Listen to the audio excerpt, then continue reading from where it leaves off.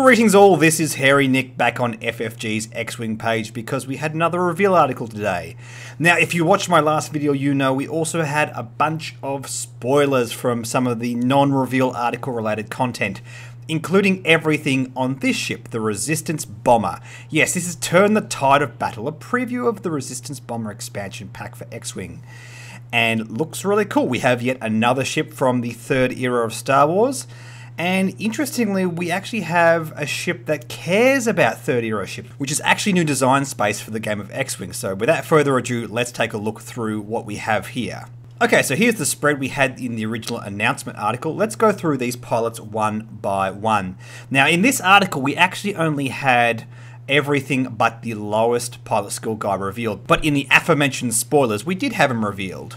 He is the Crimson Squadron pilot, cost 25 points, and the raw frame of the ship is it has 2 primary attack, fires 360, 1 agility, 9 hull, and 3 shield.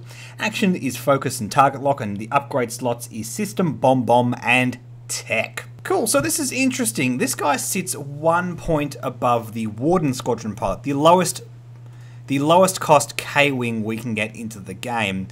So I guess when we're looking at this, we really do have to compare it to the K-Wing. I mean, there's obvious comparisons. One agility, two red dice, fires 360. A lot of health. Um, admittedly more health, but amongst everything else, it is very, very similar. Most notable difference is it does not have the slam action, and it is a big ship with a bit more health. Obviously, we have to look at this and go, okay, it doesn't have slam, it doesn't have crew, it doesn't have turrets, which is a powerful thing that the K-Wing boasts. So, is that roughly the same squad point cost buy-in going to make it competitive enough? Does it justify sitting actually a whole point above the K-Wing? And just looking at this article, that's what we really have to decide.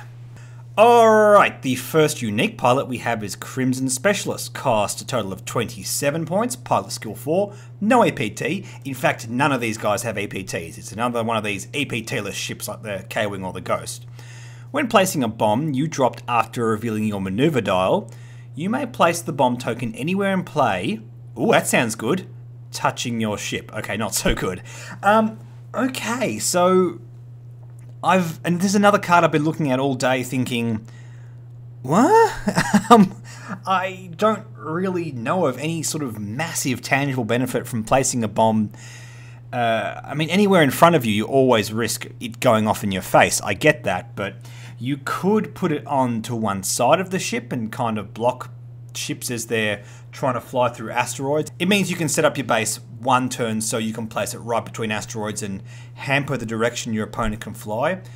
I do feel like this is very situational, but I will admit this is really interesting and crazy design space, and I always like that because at the end of the day, new and interesting design space is something we can't reject outright. We have to actually play around with it.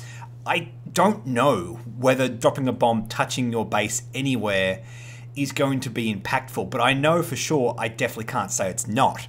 And the fact that this is a big base ship as well obviously gives you a bit more space. There's physically a larger perimeter around that base to put the bomb on, and that feels pretty good. It is limited specifically to bombs that you must drop when you reveal your maneuver dial. Um, it can't take Genius, obviously. Um, even if he could, it, it, does say you have to drop the bomb before anyway. It, wouldn't get around those rules. And that limits it a bit, but I, I guess it is a platform for the potential triple proton bomb if you want to go down that way. It is a platform from the bomblet generator, there's no doubt about that. And uh, yeah, these factors could be really powerful. So yeah, in the comments, guys, what do you think of this guy? Um, this is a big unknown for me, and I'd love to hear what you guys think. Now the next one's another interesting one. Um, this is Cobalt Leader, and this guy actually wasn't revealed in the article. Again, this was spoiled separately. Pilot skill 6 costs 28 points, no EPT again. When attacking, if the defender is at range 1 of a bomb token, it rolls 1 fewer die. So this is very interesting. My first thought was, oh, this works really well with the trajectory simulator. You can throw bombs forward and then your opponent's near bombs but the trajectory simulator only works with bombs that detonate at the end of the activation phase, meaning they won't be there when their opponent is going to attack, so that doesn't actually work.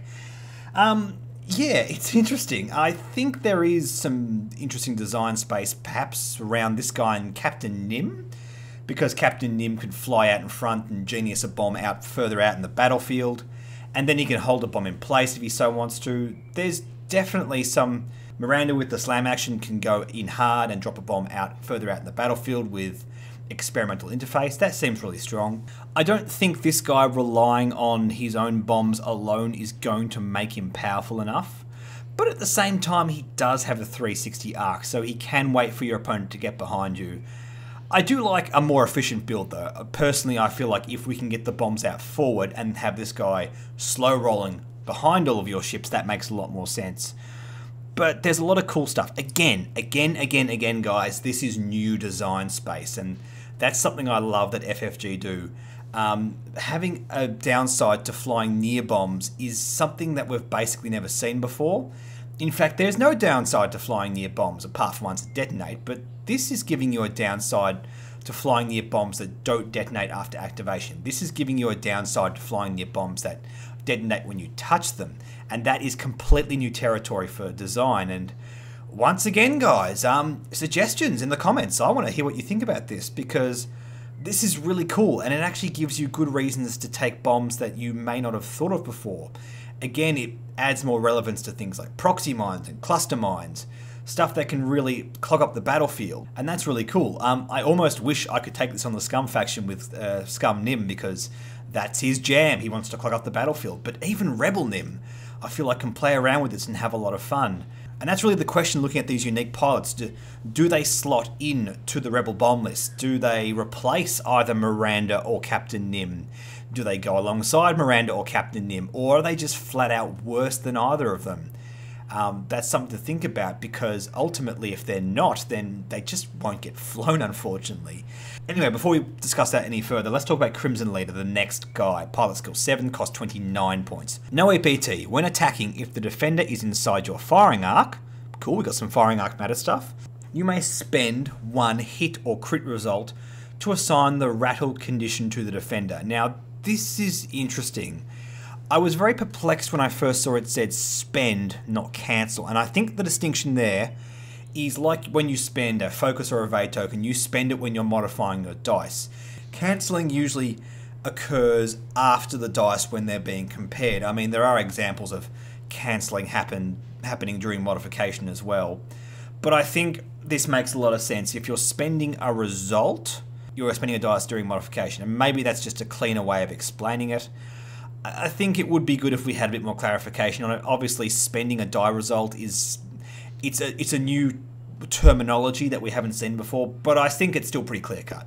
Rattled reads when you suffer damage from a bomb, you suffer one additional critical damage. Then remove this card. And as an action, roll one attack die. On a focus or hit result, remove this card. That means there's a 5 and 8 chance of it being removed, uh, slightly better than hits or crits. Obviously, it's only a 4 and 8. And that's quite interesting. It's a straight up better Sabine, I think you could argue, although Sabine can affect any ship at range 1. But that's really interesting. Crimson Leader is a bit of a loose cannon. And I gotta say, um, I'm not convinced these are necessarily better or worse than Miranda or Nym, for example, but the design space on these ships is just so interesting, and I really like that. Um, we have a bomber that cares about firing in arc, but when he does, he gives you a massive buff to your bombs. Uh, coupling this with the fact that you can now throw bombs forward, admittedly with other bombers as well, but these guys included, that's just really interesting. So it, you've got to attack your opponent on one turn. Spending one result, look, you're rolling two red dice. You are technically likely to get at least one. Um, there's a 50 50 chance of a red dice rolling a hit or crit, and if you're rolling two dice, it's pretty consistently going to happen. I guess if you focus, it just makes it even more likely. And yeah, I mean, I wonder if there's a good list that could chain together Rattle and Sabine together and just do a disgusting amount of damage on the back of bombs. Um, yeah, wow, this is going to be really cool. I'm really looking forward to seeing what these guys can do. Again, not convinced they're necessarily better or worse than Captain Nym or Miranda, but because the design space is new, so new and fresh and interesting, that to me says it's at least worth trying and it at least will make different flavors of list, which is only a good thing for the meta, keeping everything as open as possible. Alright, I've waffled on about the pilots for long enough. Let's go on to the upgrades here. Uh, on the spread, we have two Connonets. We have two copies of Advanced Optics. And I gotta say, this is pretty big. Now, based on the way we saw this card on the spread beforehand, which is all we saw before, I was pretty convinced that this is just a focus version of the comm relay, which allows you to not take any more than one evade token, but you do not lose them at the end of the turn. Same deal, you can't have more than one focus token on your ship, but you don't get rid of them at the end of your turn, and that's big. Now this costs two points, which is actually a point cheaper than Comm Relay. I gotta say, I expected it to be at least three points. I actually thought this could be more expensive than the Comm Relay because I think overall focus tokens are just a bit more relevant. I think it combos better with some pilot abilities. Um, Comm Relay needs things like Juke to really push it over the edge and make it a powerful card. Advanced Optics just feels like a straight up good card that doesn't need combos. Retaining focus tokens is just no joke. And look, let's talk about the elephant in the room Poe Dameron. Oh, wow, this is a combo. Poe Dameron, Advanced Optics, and Intensity. What? FFG? what? I mean, look, Poe Dameron is not shattering the meta right now, so maybe it doesn't hurt to push him a bit further. But this is a match made in heaven, this pilot with this card. Just keep that focus token. Intensity can be used to constantly get evade tokens. If you must flip it with the advanced op optics one turn, you're not going to complain. And then you can chuck on BB-8 and auto thrusters and just have a whale of a time with Poe Dameron. Ah, uh, this this is nuts. this is just so good.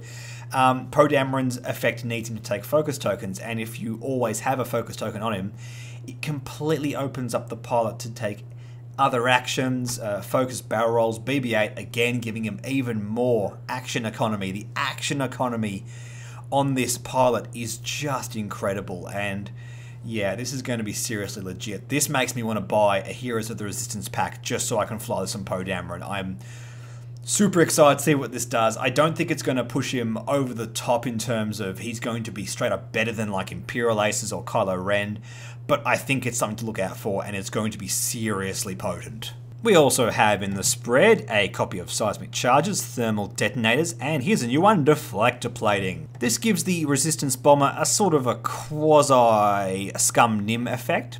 It's a modification for one point, it only goes on the Resistance Bomber. When a friendly bomb detonates, you may choose to not suffer its effects. If you do, roll an attack die, on a hit result, discard this card. So a 3 in 8 chance, slightly below half chance of losing the card when you use it. But even if it only goes off once, that feels pretty good. Um, the whole thing with this ship is it can use the trajectory simulator, which lets you throw bombs forward. So you may fly into your own bombs. Indeed, you might want to actually just fly into your own bombs because it straight up gives you a tactical advantage on the board. Sometimes flying through bombs and sometimes flying through asteroids is actually a thing you want to do because the tactical advantage, or rather the lack of tactical disadvantage you gain from doing that, makes a lot of sense. And making this already pretty tanky ship even tankier just makes a lot of sense. This seems like it's going to be a really aggressive bomber. Again, it's a different sort of flavor of aggressive bomber. You could make the argument that Captain Nym with Genius is already super aggressive and potentially just more powerful. But this guy has a large base. He has the Rattle Condition card. There's a lot of things going for this ship, which is new and interesting and offers different flavors in the game. And deflector plating just seems to play into that really well. All right, we have three copies of Trajectory Simulator. Um, that was already revealed in the initial reveal article for Wave 12. I won't go into it too much here, but basically it means if you are instructed to drop a bomb without the action header uh, behind you, you can instead throw it forward with a 5 straight, and that is really, really powerful. Um, now that we've had the clarification of what launch means, uh, and we know it's from the front guides, I will just briefly mention that I think this is going to be super powerful, uh, both on this ship and on the Scurrg bomber, particularly with Genius, and having a look at how this interacts with Genius, I think I'm starting to understand more about what they were doing with that FAQ. And I was really down Genius because it becomes overly complicated. I still am not happy about that because of how unsticky and how uneasy the card is to read. But now that we've restrained Genius to the point where he can't be used if you bump, having a look at how this combos with Trajectory Simulator, that makes a whole lot of sense. If you could bump and then throw a bomb forward 5 hard after you move, yeah, I can see that. That is just straight up borderline broken, and it's something we just don't want in the game. We don't want pilots to be rewarded for flying badly. And I think that's part of what the whole thing with Genius was. And the fact that you could then drop a bomb directly behind you with Genius or throw it forward 5 4, it was just going to make it way more powerful. So that's what's going on with these cards. I can I can totally understand where the Genius nerf was coming from. If it wasn't all about uh, Scum Nym using the bump and grind tactic, it is absolutely about that and the trajectory simulator. So just heads up guys, that's what happened there. We have also a copy of Targeting Synchronizer, and now we have another card that was spoiled in this reveal article, the Crossfire Formation. It's a title for the Resistance Bomber, cost 2 points. When defending, if there is at least one other friendly Resistance ship at range 1 to 2 of the attacker, you may add one focus result to your roll. And this is what I was talking about before, guys we finally have something that refers directly to a subfaction, and that again is new design space, and that is just good for the game overall. Resistance ships. Um, now, a more cynical person would say, oh, resistance ships aren't relevant in the meta, so they're trying to push them. I, I don't think they are like that. I think about it, hey, we now have a pool of ships that helps this kind of combination, and look, it costs two points. So I don't think this is going to be worth using unless you specifically build a resistance squad. Um, I think two points is just going to be. If, if only one of the two remaining ships, for example, is a resistance ship and the other one's a straight up Rebel Alliance ship, I don't think you'd want to take this. But this is really cool. The fact that this guy benefits from your other friendly ships being near your opponent makes a lot of sense. And it makes a lot of sense when we want to look at flying the resistance bomber with not just other resistance bombers, but like T-70 X-Wings. Um, if the resistance A-Wing becomes a thing, that's going to make a lot of sense because those ships could be really good brawlers. We know, for example, Poe Dameron is fantastic at positioning. Um, he's just got another massive boost in this game with advanced optics. So if you flow him alongside a resistance bomber, that to me makes a lot of sense. And you could get a lot of power out of this bomber and Poe Dameron. I like the whole approach they've taken there. It's new design space, it's interesting, and it also helps people make fluff compliant squads. Um, this is not something we see much. For example, uh, Kath Scarlet with her Binayre Pirates is pretty average. Um, it's an old fire spray with a bunch of Z95s. There's no synergy. There's nothing on Binayre Pirates or Kath Scarlet that says, I get a bonus when I fly with something that in the fluff actually matches with what I am. This is the first time they've gone, you know what? Resistance ships would likely fly with resistance ships. Let's give people a bonus to making a squad that actually adheres to the canon, that adheres to the fluff. And that's really interesting, and I would love to see more of it in the future. Alright, and the last thing we have on the spread here is the Ordnance Silos. Again, this has already been revealed, but I'll go through it again quickly. It's a bomb upgrade that only goes on the Resistance Bomber, costs 2 points, and you put three ordnance tokens on bombs and you can use those tokens instead of discarding that bomb, meaning you get to multiply the other bomb slot on this ship by four. It means you have four proton bombs for seven points. Holy moly, that's a lot of uh, firepower for seven points. I think that's going to be totally legit. Um, I can already see things like Crimson Leader uh, flying with four proton bombs with Trajectory Simulator, you can take advanced optics to retain those focus tokens, which means there's a better chance of him getting hits on his attack dice, which which means Rattle goes through. Then you could fly him alongside Miranda with Sabine Wren and the Bomblet Generator.